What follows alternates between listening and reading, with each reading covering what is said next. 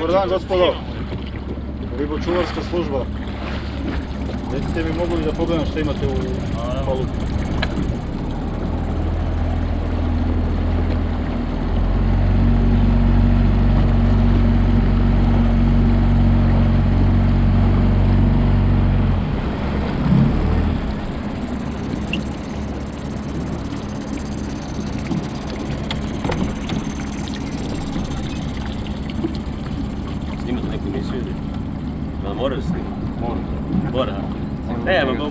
Deo. Prazna je paluba, brate, nema ni štapove, nema ništa, kao nisi provoza.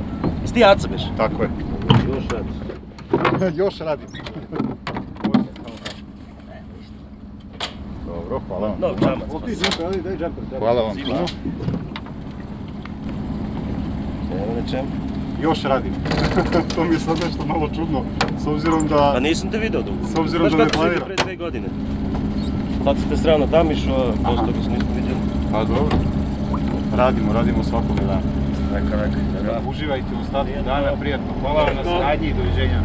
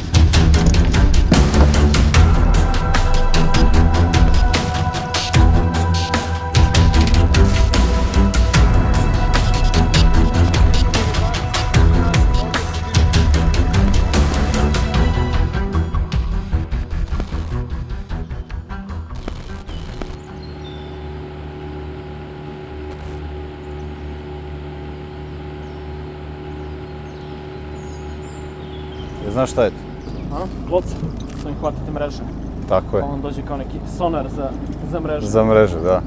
I on ne promašuje. Hoćeš da probaš da... Pa ajde, može. Ajde, puštaj polako. Puštaj polako do dna i kad osjetiš dno, onda ovaj... Tako je. I nemoj mnogo da stiskaš kanap da te ne bi povredio. Ovde često postavljaju mreže i ovi koji rade na brodovima, čuvari brodova ili radnici na brodovima, a i ovaj, ribari koji prolaze ovuda, koji su samo u prolazu. Znaš, pa u prolazu bace mrežu i u povratku je pokupe. O, ovde se baca mreža zbog deverike i zbog smuđa, jer se tu mresti, vidiš, ovo je isto... Ovaj, Blizu su razlivi. Tako je, blizu su razlivi i ovaj, prevodnica je tu, tu je beton, tu, je, tu su svi povoljni uslovi za mrest smuđa i Blizu ušće Znaš, Dunava. pa tako je.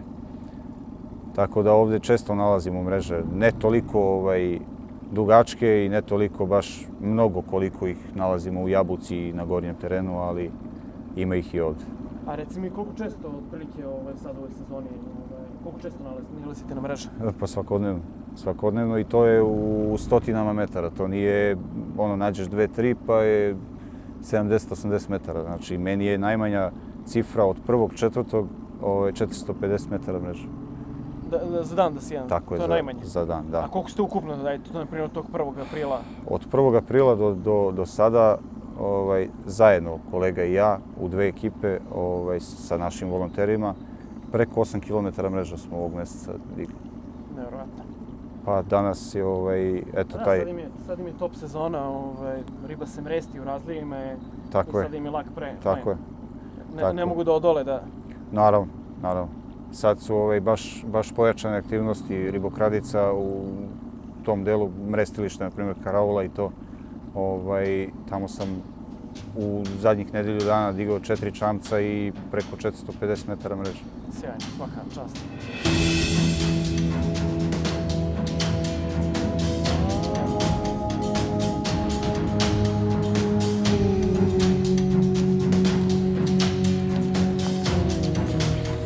Ribolov je moja strast. Moje prvo sećanje na najranije detinstvo, dan u prirodi na obali reke i pecaljka u rukama. Vrlo dobro se sećam svog prvog ulova. I ne očekujemo drugih da razumeju ribolovačku strast. To ili imate u sebi ili ne, ali važno je da se razumemo. Ribolov nije samo lov ribe, mnogo je više od toga. Ribolov je pre svega odnos duboko poštovanje prema prirodi i živom svetu koji je nastanje.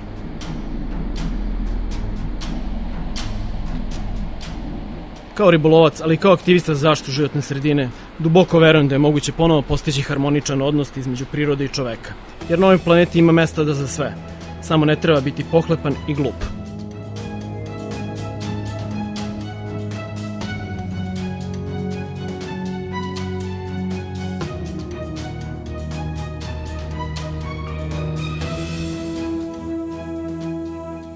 Kao diplomirani ekolog, ali i kao aktivista koji se zalaže za očuvanje ribljeg fonda, imao sam prilike da se upoznam sa prilikama na vodama u Republici Srbiji. Bez svake sumnje, ribokrađe je jedan od najvećih problema. Odgovorno tvrdim da je ribokrađe jedan od ključnih razloga zašto je u našim rekama manje ribe nego u periodu mog detinjstva. Jako slabo pratimo naše, e, naše vrste riba, naš resurs koji koristimo. E, Ja prosto ne mogu da zamislim kada bi šumen na isti način pratili, ja mislim da bi sad sve bilo golo. Ako bi trebalo napraviti nekakav odnos, procenu, kaka, šta se dešava između ilegalnog i legalnog ribolova, ja bi onako prilično slobodno mogao da kažem da je otprilike 60-40 za legalni ribolov ili 70-30 i u zavisnosti od toga koja ribolovna voda je u pitanju i kako je razvijena ribočuvarska služba od strane korisnika koji tu vodu koristi. Često to zaboravljamo, ali teritorija Republike Srbije zauzima samo oko 1% teritorije evropskog kontinenta. Međutim, Srbija je jedan od šest evropskih centara biološke raznovrsnosti. To znači da ovde živi preko 70% vrsta ptica, preko 60% vrsta sisara i više od polovine slatkoodnih vrsta riba. Da li razumemo sa kojim bogatstvom mi raspolažemo, a kako se odnosimo prema tome? priča o tome koliko se ribe kod nas ulovi legalno, koliko se ulovi nelegalno, morala bi da krene od toga koliko se ribe ulovi legalno. Ako ja ne grešim, od 2009. godine u, postoji, smo dobili prvi zakon o zaštiti i održivom korišćenju ribljeg fonda, u kojim je predviđena obaveza svakog ribolovca da, da vodi evidenciju ulo, u svojih ulova, rekreativnog ribolovca, a i ribari moraju to da rade, i da to preda na kraju godine, bez toga ne može da kupi dozvolu. Tu knjižicu svaki ribolovac u Srbiji, uključujući i mene, dobije svake godine. Ja um, poznajem sigurno nekoliko stotina ribolovaca i nijedan od njih, uključujući i mene, nikad nije u tu knjižicu upisao ni 5% svojih ulova zato što, zato što to od njega niko ne traži. To je mrtvo slovo na papiru. Potpuno mrtvo slovo na papiru. Ribolovci sve manje i vole da kupe dozvolu, pošto ih niko i ne kontroliše, a vide da se krade riba. I onda se to jedna, jedna, jedna spirala se razvija koja uh, nas dovodi u situaciju da ne znamo šta se dešava u reci. Mi u stvari realno ne znamo šta se dešava. Posle 26 godina, ono, ja tu nešto pišem, svake dve nedelje, evo sad još malo 500 brojeva lista koji uređujem u kom svakom, svake dve nedelje pišem ne valja ovo, ne valja ono. Bojim se da, da stvari ne da nisu bolje, nego da su ono, skoro u svemu gore nego što su bile pre 26 godina. To je malo deprimirajuće.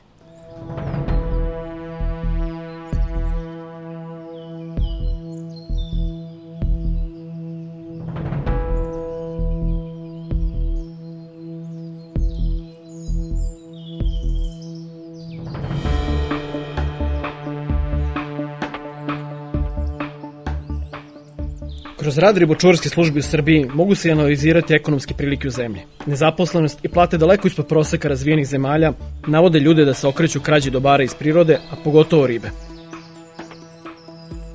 Desetine kilometara nelegalnih mreža postavljaju se svako veče u vode naših reka. Pronaći ih i izvaditi iz vode jeste težak posao, gotovo utopija, ali želim da pomognem tim ljudima. Znači, eto sad smo čuvenoj jabuci, ovaj, Tako je. leglu ovaj, ribokradica Tako je, na Tamišu. tako je. Znači ovde imate najviše akcije. Pa otprilike da, ovde, ovde su ovaj, ribokrađa je ovde najzastupljenija. Pored glogonja, jabuka je ono, ovaj, najzastupljenija.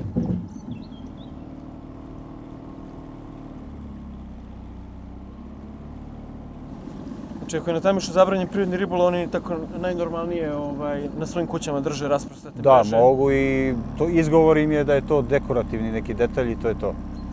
Znaš, mi protiv toga ne možemo ništa, znači sve jedno što je zabranjeno ovaj prirodni ribolov. Za- Zabranjeno da budu postavljene mreže, ali zakon ne brani, može svako da ima mreže ovaj, što Tako je, u posjedu može da ima, da.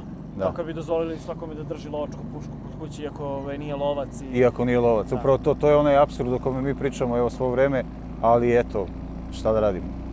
Ono, ono što treba da se menja je zakon i zakonske odredbe, da budu određenije, da budu odmerenije i primerenije I da, i kazne. da se ispravite neke Tako je. Da se dopune neke stvari, manjkavosti. upravo to. I to je ono, onaj ključ rešenja ovih svih naših problema. I to- primjena toga što Tako sada. je, tako je. Da se adekvatno primenjuje i ovaj, onda smo mi bezbrižni. Vidiš, obično je tamo gde najmanje očekuješ.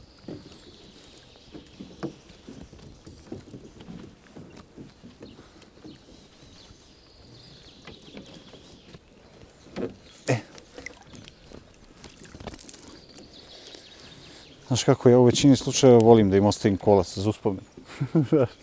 I parče kanapa, ali ovaj put neću. Ovaj put ćemo da im uzmemo sve. Čekaj samo, nož, nož, nož, nož, gde smo ga stavili? Evo ga ovdje. To, ajde, ajde seci. Čekaj, ajde to. Tako.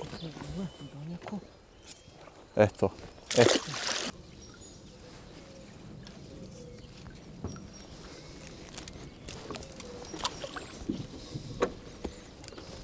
Znaš šta je samo ovaj, problem u tome ili je ona kontrolisana, znaš, ili je pregledana ovaj, ili je ona pregledana na vreme ili je sreća pa nije bilo ovaj ribe ovde. Aj seci. E, sad ćemo da idemo dalje. Idemo sad u Vuda, Ceniš. ovaj, Aha, ajde. u Vuda jer će verovatno da se zavuku, znaš, u... E, tako. Ja. E, ovo smo rekli. Tako je. Tako je, ovo uspešna akcija.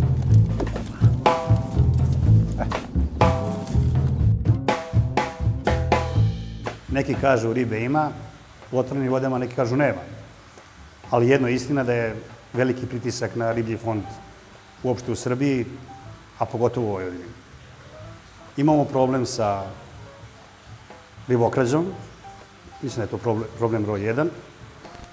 Imamo problem sa nevođenjem evidencije ulova, pre svega rekreativnih ribolovaca, ali pod znakom sumnje su i evidencije privrednih ribara.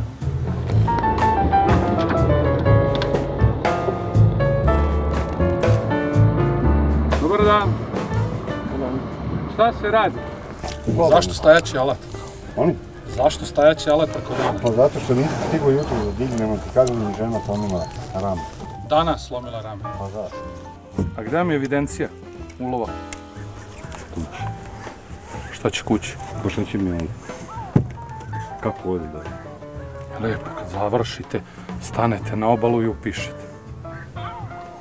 Pa moram, ne vidim dobro jebi ga kući kad odem, stavim naočarama.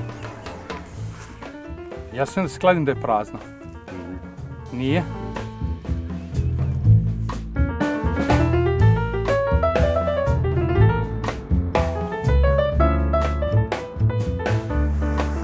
Dan. Ribočurska služba, vanredna kontrola. A imate šaranac, štuku, pecani ste malo.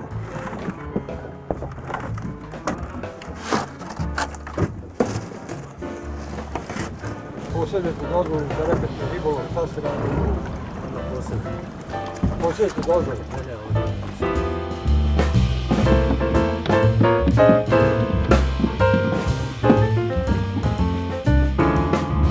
Vanredna kontrola ribočuvarska u pratnji inspekcije. Ako možeš pogledamo dozvolu i ulov. Imate dozvolu? Da? Pece. Da, da. Licu kar.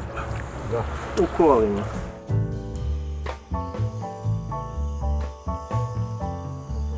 Imate dozvolu? Imam čale. Čale, da. Čale ne radi u pet godinama, razumeš? Ja vadim na njega zbog... Dobro, možemo da vidimo ćala to. Može, nije problem.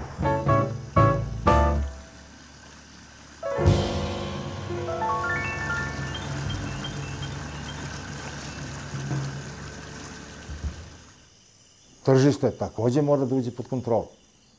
Jer krađa se dešava zato što ima gde da se plasira. Kada bi tržište bilo malo ili ga ne bi bilo, nikog, nikoga ne bi krao.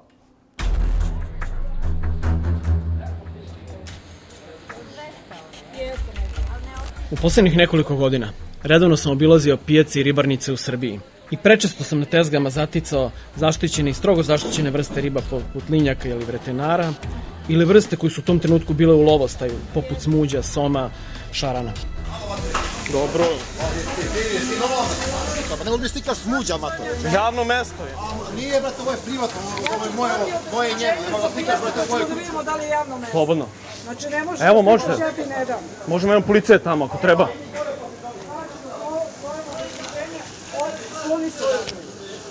Dobro, gospođo, nema potrebe. Ajde, ajde. Ajde, pale dalje. Ali što, ne kapiram, Pa ali što ne je mogu da problem? pa ne mogu da stikaš smuđa, matori.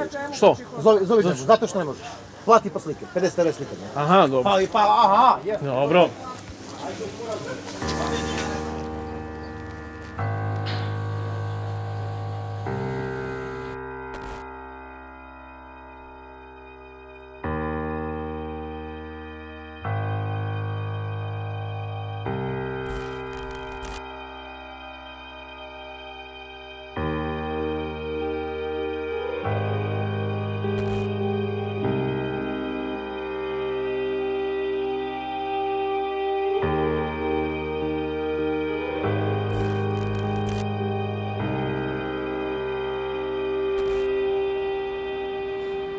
Nelegalna prodaja ribe na ulici poseban je problem na koji sam više puta ukazivao nadležnim inspekcijama. Nažalost, bez uspeha. Ne samo da sam ribokarice zaticao na istom mestu iz dana u dan prodaju ribu, već se i slobodno oglašavaju na društvenim mrežama. Na fotografijama su prikazane dve ulovljene jedinke smuđa i čovjek kog redovno zatičem na pijaci u Novom Sadu. Ovo nisu samo dva smuđa, ulovljene u vreme kada je njihov lov zabranjen. Vidimo masovni pomor više desetina hiljada jedinki jer su ribe pune ikre.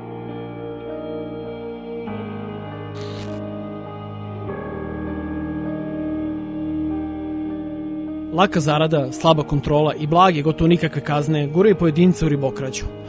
Na osnovu grubih procena, spreman sam da tvrdim da na oko 50 kvadratnih kilometara vodene površine živi riba čija je tržišna vrednost oko 10 miliona evra.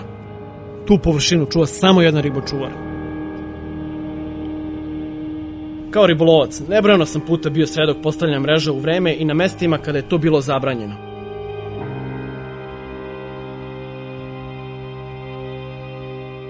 Na meti ribokrajica je prvenstveno kvalitetna riba, smuj, som i šaran. Ali pravi im je uspeh kad ulova kečigu, čija cena ide i do 10 evra po kilogramu.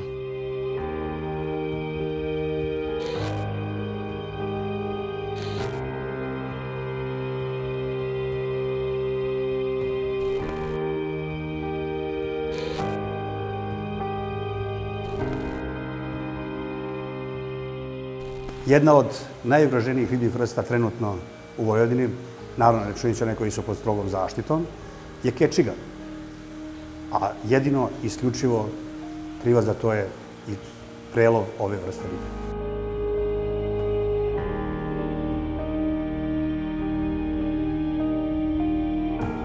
Mi smo radili dve studije. Jedna je analizirala zakonodavni okvir zaštite jesetarskih vrsta u Srbiji, a druga je se bavila staništima jesetri njihovim ulovom, koji i pokaz, studije su pokazale da je ulov kečige u Srbiji znatno opao u poslednjim decenijama. Svi mi znamo da, da pojedine vrste i tekako ispod mere i u nevreme, u vreme mresta se mogu e, normalno konzumirati u našim ribljim restoranima. To je jedno od tržišta, nije to jedino. Pijace, svuda.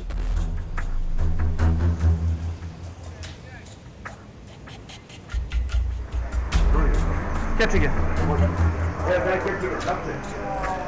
Sad za 1000 dinara.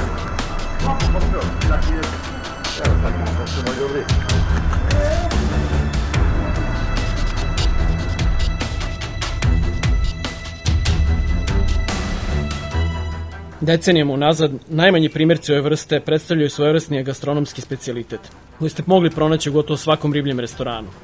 Ukus i kvalitet mesa kečige pokrenulo se lanac njenog masovnog izlovljavanja. Možda je od 25 cm slatka, ali to je beba.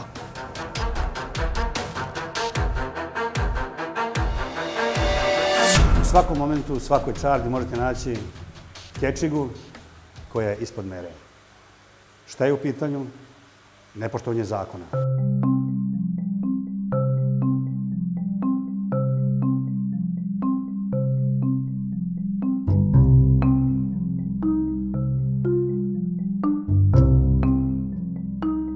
Trebalo bi ukinuti tržište, kako god se zna i ume, tržište za ribu koja može da bude iz ilegalnog ribolova. Tu pre svega mislim na restorane koji se nalaze na obalama naših reka, koji u svakom slučaju moraju e, koristiti nekakvu ribu koja je legalno e, proizvedena u ribnjacima, legalno ulovljena od strane alasa, uvezena ili već šta god, a nikako ne bi smeli da, da se kod njih nađu e, ribe koje su iz ilegalnog ribolova. A ima ih.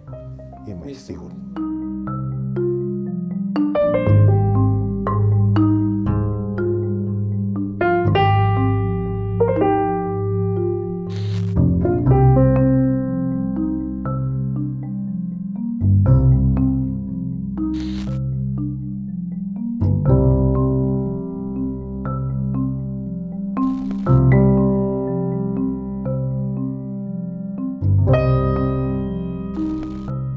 Kečega predstavlja jednu od najstarijih vrsta riba koja živi u našim vodama.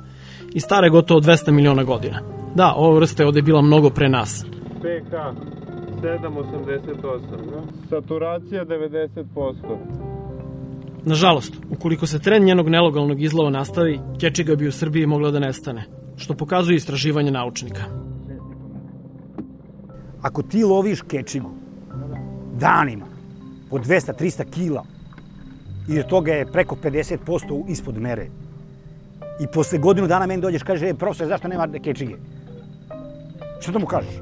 Budalo. Pa nije to neisrpno. Nema neisrpnog bogatstva i ta voda, ona jeste čudo. Ona je život. Svaka ta i vodok je jedna arterija. Jedna kucavica žila koja, koja život znači u ovom području. I svim područjima u svetu, znači nema, nema života bez vode. Taj živi svet u vodi je e, pokazatelj kakvi smo prema njemu. Kakvi smo prema sebi. Koliko poštujemo tu vodu, toliko poštujemo i sebe.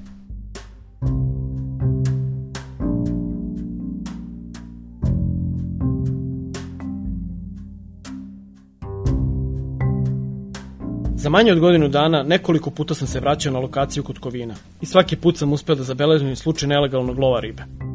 Spuštanje mreža na lokalitete gde to nije dozvoljeno vidio sam i na brojnim drugim mestima. A reakcija nadležnih institucija bila je mlaka ili gotovo nikakva. Dobar dan, gospođo Dragana. Ljubomir kraj telefona. Ništa ovako, zovemo, nalazim se na Baračkoj trenutno, gore kod Sombora. Htio bih prijavim ovaj, mreže ovde nalazim. Zvao sam i ribočuvare, međutim oni se prave blesavi, pa pošto oni neće da reaguju, rekao da se obratim vama ako je moguće. Da? Mislite, zauzeti ste? Evo, dobro, ne znam šta da radimo onda. Dobro. Da. Dobro, ako nemamo nikakvo rešenje. Odlučio sam da se obratim javnosti i ukažem na ovaj problem. Slušate Radio 021, temperatura u gradu je prijatnih 19 stepeni. Danas u našem gradu održava se jedna zanimljiva javna tribina posvećena problemu o kojem se malo govori. Naime, ekološki aktiviste Ljubomir Pejčić danas će govoriti o problemu ribokrađa. Koliko se u Srbiji ribe ilegalno ulovi, kao i koje su posledice po životnu sredinu, ali i zdravlje ljudi. Problem je izražen, e, ribokradice su prema informacijama sa terena, informacijama koje, koje dobijamo e, osione, bahate, e, ali bih ovu tribinu otvorio zapravo pitanjem ljubi, šta kažu tvoje informacije, dosta se krećeš na terenu, pa bih voleo da nam predstaviš onako jednu širu sliku. Pa, ako je, ako je ovaj, po reakcijama ribolovaca ovaj, stanje katastrofično. Sami ribolovci su takođe deo tog problema, jer mnogi ovaj, i rekreativni ribolovci učestvuju ovaj, da kažem, u tom masakru i krivolovu riba. Mnogi žive, nažalost, od toga ovaj, što svoj ulov ovaj, prodaju u restoranima. Ovaj, tako da je prema reakcijama ribolovaca, ali i prema vrlo konkretnim dokazima dovoljno otići na, na pijacu, ovaj, po restoranima i ovaj, vidjet ćete. Ja, jasan signal da se riba ovaj, naveliko krade, jer ćete u sred mresta naći ovaj, ribe koje su u lovostaju, gotovo na svakoj pijaci, ribe ispod mere ćete uvek naći, ovaj, tržište je potpuno nekontrolisano, ovaj, sem negde možda malo na papiru, ali u praksi je potpuno nekontrolisano, ovaj, tako da ne, ne znamo ni poreklo ribe. Na, vrlo često ćemo naći riba koja se prodaje u gajbicama na, na podu pored pijace iz gepeka, kola. Ovaj, riba se prodaje po oglasima, na kupujem, prodajem, ovaj, možda nađete ovaj, oglase da čak šalju ovaj, pouzećem ovaj, ribu ili ovaj, autobusima. Nemojte da zaboravite, ja sam jako toga bolno svestan da a, kada bi e, suzbili nelegalnu prodaju ribe na pijacama i nelegalnu e, prodaju u restoranima, da bi imali ribokrađe za dobar procenat manje. Ali moram da vam kažem da su i nama mnogim zakonima ruke vezane.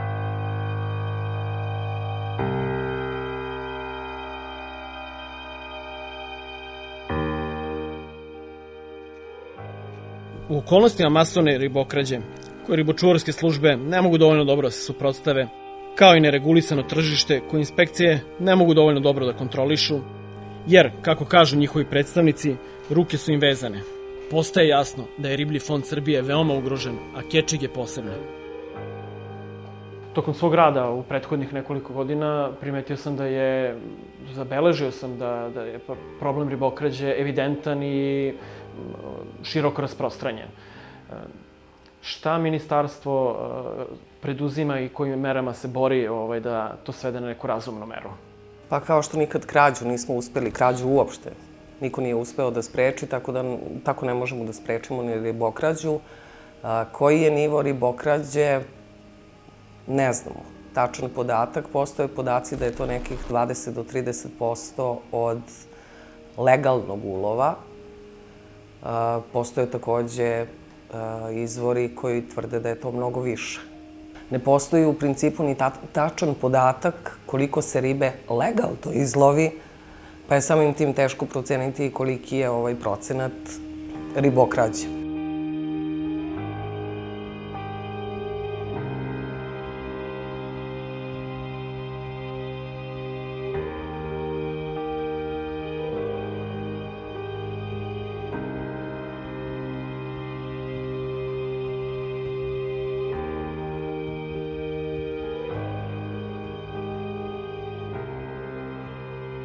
Zajedno sa Ujedinim ribolovcima Srbije i Udruženjem Mala sa Srbije podneli smo zahtev Ministarstvu životne sredine da se uvede trajna zabrana izlova kečige na period od 5 godina i da se prati stanje populacije kečiga u našim vodama, jer posle 5 godina bilo je moguće sa našom željom ponovo uraditi studiju i videti da li uopšte ima smisla da ta zabrana i dalje stoji ili možda su se populacije oporavile i to više nije potrebno. Odgovor koji smo dobili od ministarstva jeste trajna zabrana koja je stupila na snagu 1. januara 2019. godine. Evo konkretno u slučaju kečige, tokom ovih istraživanja, ovaj, što po pijacama, što po restoranima, utvrdili smo da 99% kečige u prodaji je ispod minimalne dozvoljene mere, što možemo zaključimo da je taj procenat e, ilegalno ulovljene ribe ili ribokrađe daleko veći kada je kečiga u pitanju. Mislim da će ova zabrana koju smo doneli, odnosno podzakonski akt koji reguliše zabranu ulova kečige od 1. januara 2019. godine doprineti tome da pre svega bude manje kečiga, odnosno neće biti, ne bi trebalo da bude kečiga koje su iz krivolova i mislim da će i samo inspekciji za ribarstvo koja to kontroliše biti jednostavnije da dođe do, do prave istine i da ukoliko je krivolov u pitanju, pokrene naravno proceduru koja je zakonom propisana. Mi jesmo tražili zabranu izlova na pet godina i potpuno podržavamo odluku ministarstva da zabrana bude trajna, jer e, svesni smo da je to samo prvi korak u trajnoj zaštiti kečiga i drugih jesetarskih vrsta i da sama zabrana nije dovoljno. Ona je samo jedan od alata, ali potrebno je vršiti i kontrolu populacije, ali možda i ono najvažnije, kontrolisanje sprovođenja zabrane. Ako se ništa ne uradi, onda ćemo za pet godina imati samo 29 vrsta koje su bile pod strogom ili su još uvek pod strogom zaštitu, a ništa nećemo znati ni da li smo nešto uradili, ni dalje ni bilo nekog pozitivnog, negativnog, kakvog god efekta. Dakle, e, a imaćemo jednu e, maglovitu predstavu da se nešto dogodilo. Po meni, e, trebalo bi malo poštovati pravilnik po kome stavljamo pod zaštitu strogu. Stroga zaštita se sprovodi, pa stoje dve tačke i onda stoji čitav niz mera kako se sprovodi stroga zaštita. Ništa od toga se nije desilo sa prethodnih 28 vrsta. Zašto mislimo da će se desiti s kečigom? Svakako je bolje da je neki prirodni resurs zaštićen nego da nije zaštićen. Čak i kad pogledate zaštićena prirodna dobra ili nacionalne parkove ili bilo koje druge kategorije zaštite, samo ako pogledate šumu vidjet ćete da je uvek očuvana u zaštićenom prirodnom dobru, a ne van nje. Isto tako je i sa i ribnim vrstama. Što su, ako su očuvane, ako su zaštićene, to ipak dolazi do svesti građana i nadamo se da će i oni nesavesni građani prevagnuti na tu stranu i ostaviti populacije, populacije kečige da se oporave u narednom periodu.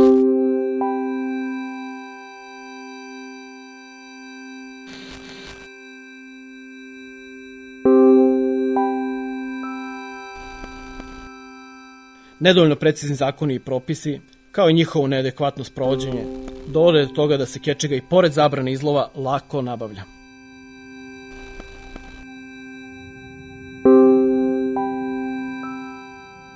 Iako je zabrana izlova kečege uvedena 1. januara 2019. godine, e, mi još uvek dobijamo preko društvenih mreža fotografije građana iz Srbije da se kečiga služi u restoranima. To može i ne mora da znači da je ona ilegalna, zato što je dozvoljeno konzumirati kečigu iz uzgoja, to jest iz akvakulture, ona koja je veštački uzgajana, nebitno koje je dužine. E, međutim, svaku sumnju na ilegalni izlov kečige apsolutno treba prijaviti nadležnim inspekcijama, čiji je rad i kontrola zabrana izlova kečige mora biti još jača. Moj, moj stav je tu jednostavan. E, ako hoćeš da zaštitiš ribu koja je ugrožena, ti moraš pre svega da zabraniš svaki njen promet. Nisu, e, ne, štiti se, ne štite se slonovi sad tako što je neko proglasio zabranu prometa slonovača od ubijanih slonova. Nego je proglašena zabrana prometa predmeta od slonovače. Jer, jer ako bi ti rekao da mogu da se, e, da može da se prometuje slonovač od veštački gajenih slonova ili do onih koji umru prirodnom smrću, svi slonovi bi odjednom umrli prirodnom smrću ili bi svi bili veštački gajeni, ovi koji su ubijeni. E isto je tako stoje stvari po meni i sa kečigom. Restorane verovatno kontroliše nekakva inspekcija koja je zadužena za higijenu ili ne znam, slično nešto i oni tu sad imaju nekakve potvrde od ribnjaka da, da su ribu uglavnom nabavili u ribnjacima. E, mislim da to nije dovoljno ko je nadležan za kontrolu restorana. Moj neki utisak do sad, kad god sam pitao nekog od inspektora iz ministarstva, da otprilike niko ne zna ni ko, ko bi bio nadležan, ko sme da uđe u restoran i da kontroliše ovaj, od, poreklo ribe. Neko je, ima indicije da je to veterinarska inspekcija, ali su uh, inspekcije za ribarstvo, ovaj, se, to je zašto životne sredine, ovaj, tvrde da ne smije da ulaze u restoran i da kontroliše po, poreklo. Nije problem ući u restoran, to je najmanji problem. To je jako lako Evo, to otvoreno vam kažem. Svi ti restorani su uglavnom registrovani, uzmu se njegovi podaci iz uh, uh, ovoga APR-a, uh, izda se nalog i inspektor tamo ode. I ja dođem, dobar dan, dobar dan, dajte vi meni da vidim kako vi ribu služite, on meni iznese ono što je u meri, ja kažem da, on je regularan. I onda me vi sutradan svi napadnete, eto vi njih štitite. Ne, ne štitimo. Naprotiv, ali vam kažem, Znači, ja mogu samo da kontrolišem kao inspektor da li on prodaje ribu u meri ili ne u meri, ali i ako ga zateknem sa ribom u koje, koju prodaje, a ta je riba sad u, u, u lovostaju, on meni može da kaže ja sam to držao u friži, u zamrzivaču po tonim tim uslovima i ja tu priču završavam. E sad je neko, nečija druga nadležnost da mu kaže ne, ti ne možeš da držiš tu ribu toliko i toliko, u toj toj temperaturi. To je malo kompleksnije, znači nije jednostavno, ali upravo to je ono što ja mogu da vam kažem. I pored očigledno kršenja propisanih mera, bio sam svedok da prodavci izbegavaju kazne od strane inspekcije, navodeći da su ribu kupili na lokalnim ribnjacima. Postoji brojni razlozi zašto treba dodatno proveriti te tvrdnje. Pre svega, uzgajačima se ne isplati da prodaju tako malu ribu, ali na strano šta se nekom isplati ili ne, uzgoj kečegi u ribnjacima ni blizu ne može da nadoknadi potražnju za njom. To samo znači da je cena na ilegalnom tržištu raste. Zato mi i ne čudi što se kečiga i dalje izlovljava na Dunavu, Savi, ali i na Tisi, i to pored prevodnice kod Novog Bečeja.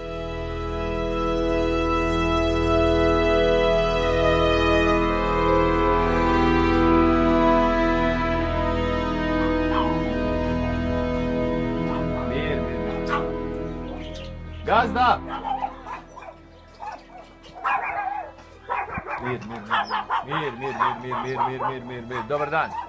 Nas su ribolovci poslali, kažu da vi možda imate ribe. Ovako imaš sama. Mali sam. Mali sam. Ovo je je ovo. Ne pojma. Ovo su džarak. Jeste, da, jeste. Jeste džarak. Opa! Evo, ovo prodajete. Pa mi to za nas ostavimo tu. A, pa dobro. Ne, Nije, kečiga, raslojeću ima, pa onda tako skupljamo pa za nas. dobro. Ovo, zašto si ti? Šta je ovo? Ovo je vrena. Ja ne znam šta je, urmerena, milijuna, ja? Ne.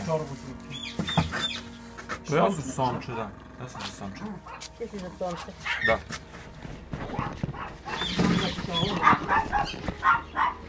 Pa hoću, da. Dovoljno. Ne može ovako. Dovoljno jedan. Pa jedan, da, hoćemo da... Mislim, ja bi ga uredno, ba ne, tu sam sa, sa detetom, ženom. Dobro, a te kečige, šta? Šta je s njima? Pa to mi za nas skupljamo, razumeš? Zašto je redka? I ne vata se ne ona kao pa koja je zavuka, onda ništa tako. Uz malo truda i par telefonskih poziva, lako je doći do adrese na kojoj se može kupiti riba ulovljena u divljini. Riba kupljena od lokalnih ribara u restoranima predstavlja se kao riba kupljena na ribnjacima.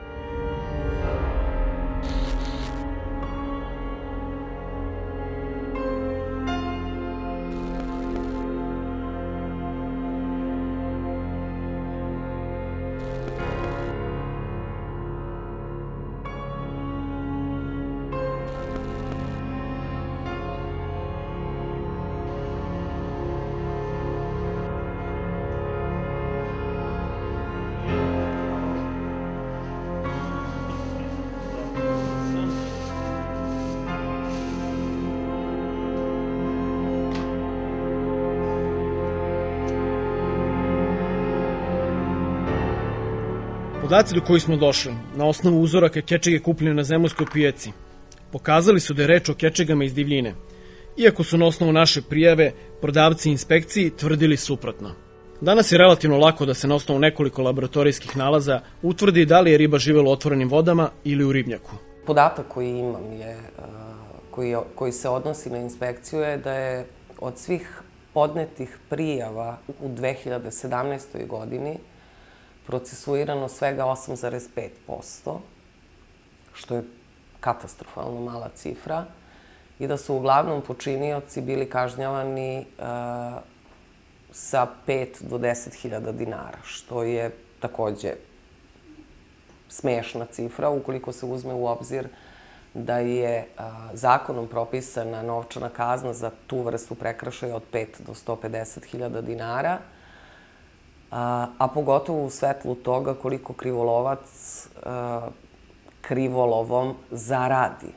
Znači, njemu se mnogo više isplati da i dalje, da se i dalje bavi krivolovom, iako će možda platiti kaznu od 5 do 10 hiljada dinara koja njemu ne predstavlja problem problem sa tužilaštvom e, i, i ovaj, sudstvom generalno ovaj, i njihovim, da kažem, blagim kaznama prema, to je uglavnom u tom donjem opsegu, ovaj, na najnižem donjem opsegu, e, mislim da vuče koren iz toga što se generalno, za razliku od drugih nekih ovaj, zločina i krivičnih dela, na zločine, zločine prema prirodi gleda blagonaklono. Ljudi nisu svesni e, posledica i ekonomske štete koje nam donosi zločini prema prirodi kad pominjem sudstvo i tužilaštvo, ja zaista ne mislim da postoji zavera da se ove a, i ovakve prijave ne procesuiraju, nego smatram da je a, da sudijama i tužiocima nije dovoljno bliska ova tematika i da oni, a, to je moje lično mišljenje, da oni ne shvataju a, koliko je, šta znači ubiti ženku u vreme mresta, da nije ubijeno samo ta jedna ženka, nego je ubijeno, odnosno da je taj neko ubio 100.000 novih jedinki i da je zbog toga, da zbog toga kazna treba da bude drakonska.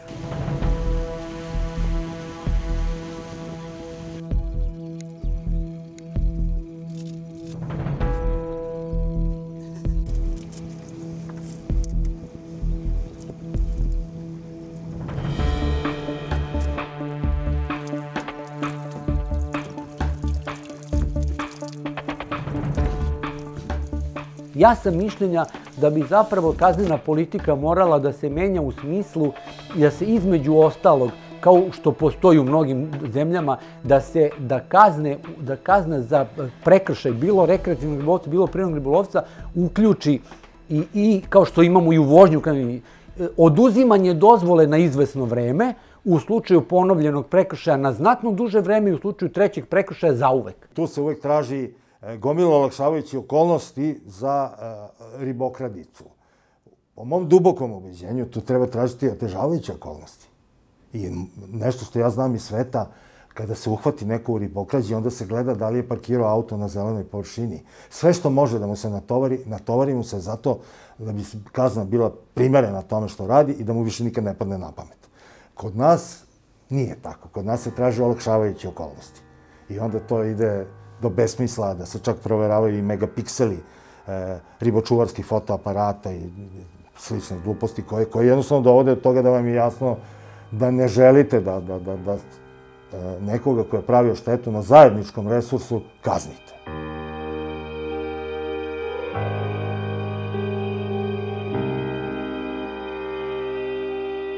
Nažalost, država Srbija i sve vlade u posljednjih 20 godina su ribu tretirale kao socijalnu kategoriju. Nema kazni, nema presuda, ali pograđa je tu. Znači, doslovno i dos, e, provođenje zakona, poštovanje zakona bi rešilo sve ove probleme koji se dešavaju trenutno na otvorenim vodama u Srbiji. Da bi kontrola bila redovnija, e, onaj ko je zadužen da kontrolu vrši mora da bude za to direktno zainteresovan.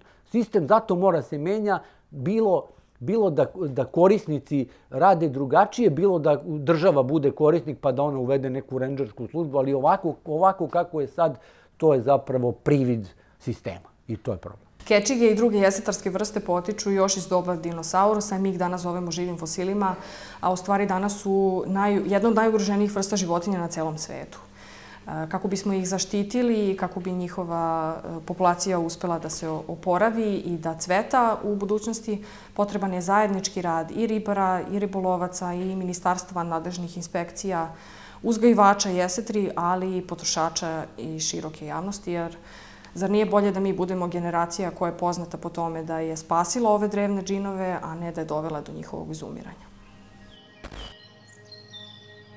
Meso jesetri u koje spada i kečiga od uvek je bilo na ceni. Ne samo kod nas. U Engleskoj, Rusiji ili Francuskoj kečiga se služila isključivo bogatim ljudima. U Kini bila je rezervisana samo za cara. Kako zadovoljiti potrebu ljudi za mesom kečige, a istovremeno očuvati njenu divlju populaciju? Kečige iz uzgoja sada su sve dostupnije na tržištu. Želim da proverim kakav je njihov ukus i da li se na taj način može postići da ljudi budu siti, a kečige na broju. Kice, donosam lepe kečige sa ribnjaka. Da li možeš da mi kažeš zašto ove ribe predstavljaju vrhunac e, kulinarstva kada su ovaj, slatkovodne rečne ribe u pitanju?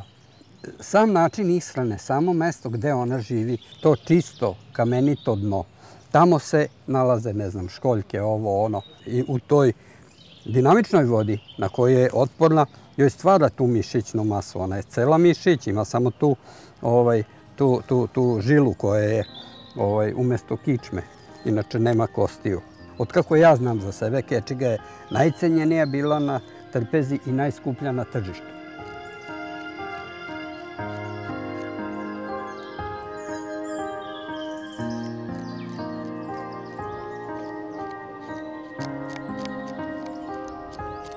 Da li znaš da je populacija kečige u divljini danas u velikom problemu? Znam, ali zamisli ti pre recimo 30 godina ta kečiga je redovno bila u prodavnicama. Znači privredni ribari sa Dunava su je donosili i bilo je i donosili su i veće komade od ovoga i ovakve. Do pre godinu dana kad su se u zadnjih recimo pet godina pojavile neke male koje nema nikakve ovaj, e, nikakve veze sa, sa trpezom. Znači, sam ukus njen, sam kvalitet mesa je izazvao da bude interesantna i kod lopova i kod ribara. Tako da se donosila na ovaj na, na to crno tržište tako što se krala. I krali su Nedorasli se, primjerci. Tako je, krali su se i mali i veliki primjerci.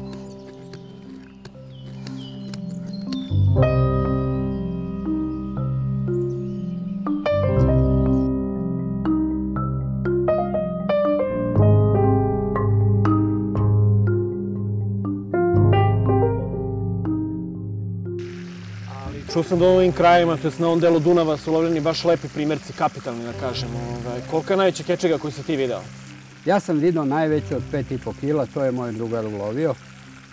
Ovaj, I ulovio je jedan par, čini mi se. Obe su bile tako preko 5 kila, veću nisam vidio. S obzirom na ono što sam ja sretao ovaj, po restoranima i na pijaci u poslednjih par godina, ovaj, to stvarno nešto ovaj, predstavlja nevjerovatno, ovaj, što kao ne možeš ni da zamisliš kad obično srećaš kečige u prodaji od 20-30 cm koji su ispod svake mere. Mislim da je naša saradnja, odnosno saradnja inspekcije sa nevladinim organizacijama i sa ljubiteljima prirode uopšte i, i a, rekreativnim ribolovcima bila jako dobra, jer su ljudi svakodnevno dostavljali informacije inspekcije o tome gde se dešava krivolov, gde su bačene mreže, iako je privredni ribolov zabranjen. I pošto ste vi tad bili u jednoj od tih organizacija, znate da je inspekcija svakodnevno izlazila, bez obzira ovaj, gde se to nalazi i kakvi su vremenski uslovi bili, da je inspekcija izlazila na teren i činila sve što je bilo u njenoj moći. To je dokaz da ukoliko svi zaista radimo ono što nam je posao i ukoliko se svi zaista trudimo da zaštitimo taj riblji fond, da će pomaka biti.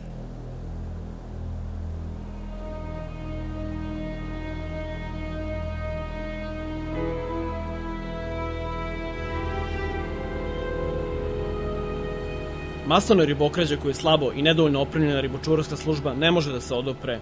Neuređeno tržište, kao i slabe i gotovo nikakve kazne, doprinule su drastičnom siromašenju ribljeg fonda Srbije. Naše ogromno prirodno bogatstvo nestaje. Neodgovorni pojedinci ga kradu. To nisu nagađanja, već činjenice. Bili smo u, u novembru u Kovinu, konkretna lokacija Dunavac kod e, rudnika Kovin. Ovaj, I evo, zatekli smo u sred dana, ovaj, to je sumrak čovjek koji ovaj, postavlja mreže, to je proverava i postavlja mreže. Prethodno ovaj, smo zatekli... Ali se ovde ne vidi da li je on e, privredni ribar, da li ima dozvole i u zimskom računanju vremena on može da postavlja preko dana. Slažem se, ali lokacija na kojoj smo ga zatekli, područje, da, zabranjena je bilo kakav privredni ovaj, ribolov, tako da je tu bez ikakve sumlje u pitanju ovaj, rekao, krivolov i ribokrađa. A takođe sam ja, ovaj, našao sam ovaj, jedan senker ovaj, u kome smo i ribu zatekli, tako da... Proverit ćemo i kao što kada sam rekao, već smo bili na, na delu blizu te teritorije i ponovo će inspekcija izaći sa drugom ribočuvarskom službom pa ćemo otvoriti šta je, u čemu se radi. Drago, drago mi je da, da. da imam to obećanje od vas. Da li možemo mi da se priključimo toj vašoj ovaj, kontroli? Na, naravno, naravno. Biće nam zadovoljstvo. E, hvala. Nemam čemu. Evo ga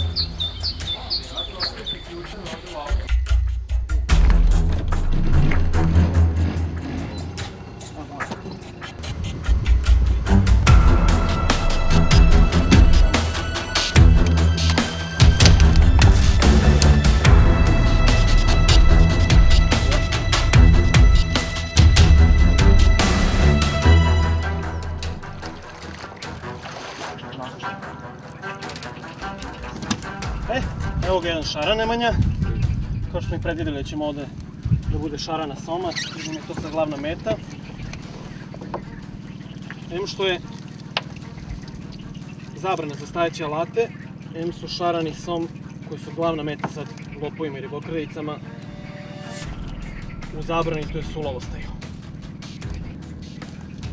Da oslobodimo ovog mučenika, pa da, ako može se oporavi da nastavi sa mrestom.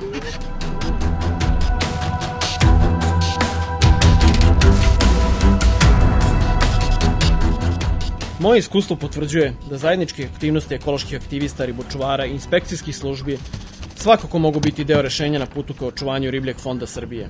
Međutim, bez promene sistema i promene svesti i odnose ljudi prema prirodi i prirodnim resursima, prirodu i njene resurse je gotovo nemoguće zaštititi. Mogu mi ovo ozbiljna mreža? Evo još jedan šaran, nama oko.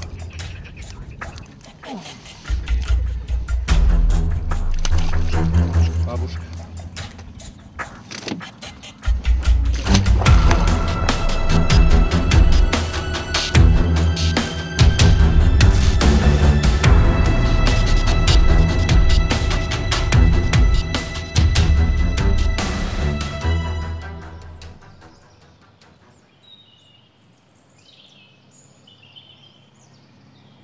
Iskreno, ja stvarno ne vidim razliku između ove ribnjače kečige i kečige divljine. Tako da zaista ne razumem čemu se pravi ta fama gastro kao da je riba iz divljine. Ovo je stvarno vrhunski kvalitet i ne vidim razlog da uništimo potpuno populaciju divlji kečige samo da bismo uživali ovako nečemu kad već možemo na ribnjaku da dobijemo ovako nešto sjajno. Slažem se i opet ćemo doći do onog zaključka da u toj prirodi i u tome što nas okružuje ima mesta za sve u određenoj meri da izlovljavamo ovo, da lovimo ovo i svi će biti zadovoljni i neće određene vrste biti ni ugrožene ni nestajati.